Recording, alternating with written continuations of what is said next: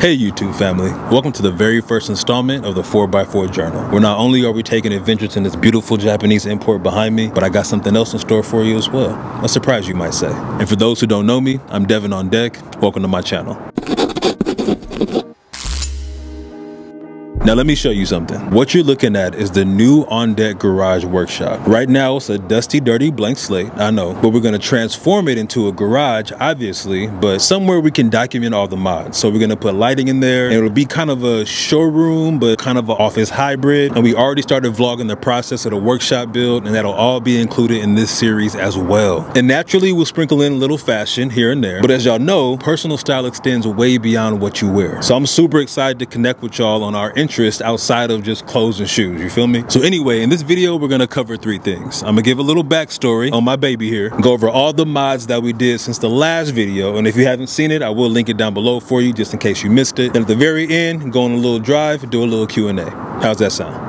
All right, so if you're new here, this is my 1996 Toyota Land Cruiser from Japan. It is a three door, has an RFP top, diesel engine. It's a thing of beauty. And the first thing you probably noticed that I changed from last time, the wheels and tires. The ones before just felt a lot more flashy. They just weren't really my style. So I wanted to go with something that was a lot more timeless. And these are just gorgeous in my opinion. And for the tires, I wanted something a little bit more aggressive. So I went with the Toyo Open Countries. And one thing you probably didn't notice from last time is that the original color of this car was white. But at some point, I think when the flashy rims are on there, it was also purple. So it was white first, then purple, and then now black and this is the color I'm gonna keep it. So we're gonna stick with this. Another thing that I ended up swapping out was the radio. I went with the LCD screen with Apple CarPlay. I have a really bad sense of direction, so it was super important that I got this. And now I don't have to look at my phone constantly when I'm driving around LA. But I also have an aftermarket backup camera as well. And you wouldn't even know it was there if you looked at it, but it's right here where the light is for the license plate.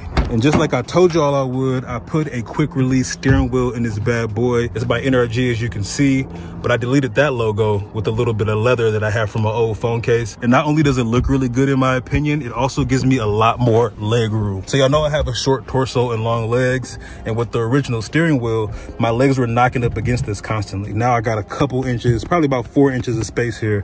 And it makes a world of a difference with that flat bottom. And I think it's like two to four inches smaller than the original one. And the horn still works, but now this bad boy can just pop right off. And it's a little bit of an added security measure as well. So win-win. Oh, and last but not least, I finally got this bad boy detailed. So that smell that was in here before, completely gone. I don't know if y'all remember that boo-boo stain that was in this seat, completely gone now. All the interior is spotless, except for like the stained stuff. I mean, it is a 20 year old car and the person before me was a smoker. So you got like burns here or like, you know, stuff that smoke does, like, you know, the tar, yellowing of different things. And on top of that, this is gonna save me some money because a lot of things that I thought I needed to change out on the interior just needed to really to get clean. So now a lot of these things are looking basically brand new. So it helps me really zero in on the parts I really need. You feel me?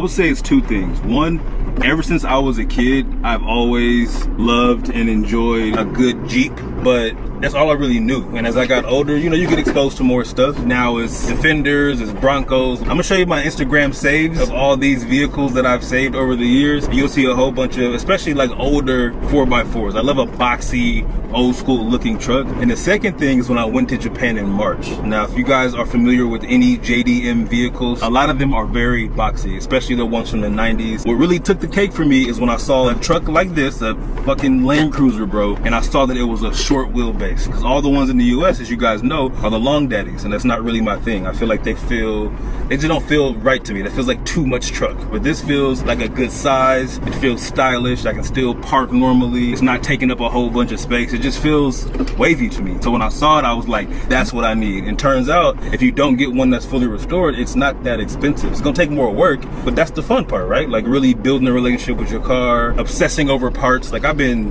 man, spending way too much time online trying to find parts for this old car, but that's the fun of it. And I've really been enjoying that.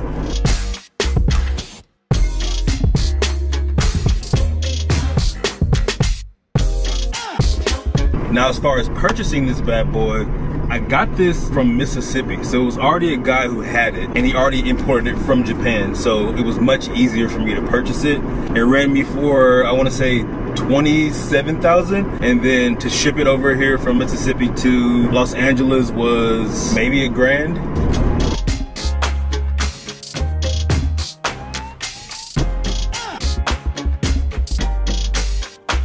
Now, as far as driving on the right side, now, this is something that took a lot of getting used to. I would say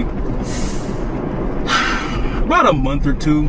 And really, all that I try to do is make sure that, hey, make sure you feel like you are in the passenger seat. If you feel like a passenger, you're doing the right thing. If you feel like you're a little bit over to the left just a little bit too much, you definitely are. So you really just gotta get comfortable riding that right side, being a lot closer to cars parked or whatever than you're used to. And then also when I get back in my family car, reorienting my mind to do that too. Everything else though is basically normal. The gas and brake are on the same side. Oh, the only other thing is the windshield wiper and the turning signal are opposite. So I always tell myself outside, outside, outside, because sometimes I'll flip the other one every now and again, but I'm pretty much used to it now. Now, one thing I do get though is a lot of looks because people will drive past me and then to do a double take like, oh, that guy's on the wrong side. But really, I'm just on the right side. You know what I'm saying?